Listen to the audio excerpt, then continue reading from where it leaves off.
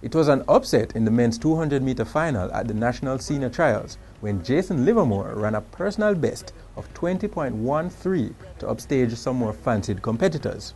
And Livermore will be setting out to do the same when he competes at his first World Championships.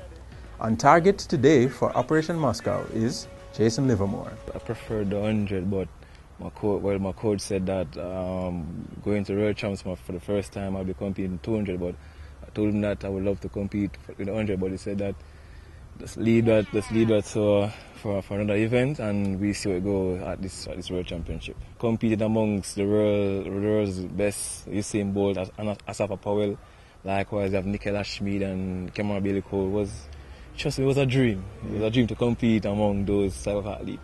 So, so it, it, registers to you know that yes, I'm a part of the team. yeah. What, what, what, was that feeling? Like? Oh well, honestly, um, after the 100 final, it's like when I went home, I couldn't sleep, and I, and I actually have the 200 200 each Saturday morning to compete in. But well, I called my coach and I said, Coach, I can't sleep. He said that just don't worry, just relax, fluid up, let's get some rest. I said, Okay, coach. What? Well, after the 100 final, after the after the 100 finals, everything, I was like, yes, finally. I, I, I finally make a mark now, so I know I know where I'm in, in, the system. For most people in 200 now, this is a surprise. Not with the third place, but with the time, 20.13. But for me, 20.13 was always a target for me.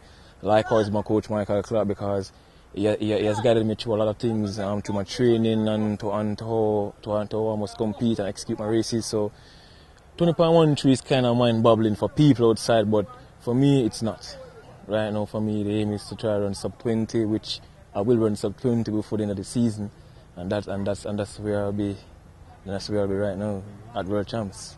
Yeah. I'm just looking to looking to looking towards going to the World Championship, making the 200 finals and then from there now I'll, I'll just take it from there to see if I to see if I can medal in the top three. So right now right now I'm just taking things kind of slow and smooth and just see how and see how the rest of the season go for me going into World Championship that is. Who's Livermore?